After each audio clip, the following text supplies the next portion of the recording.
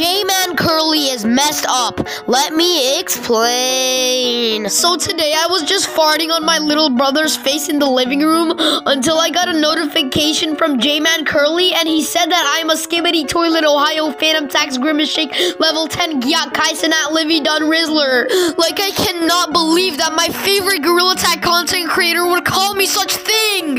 like this is so unfair and disrespectful. J-Man Curly, if you're watching this video, I want to speak to your manager because this is out of hand. I cannot handle all of this hate from you. So J-Man Curly, you should be expecting a lawsuit because I'm suing you for 35 gazillion, badillion, trillion, a million, 55 dadillion, gazabillion, badillion, gonzalezillion, a billion dollars. And if you support me and want me to win the court case, make sure to hit the like button and subscribe.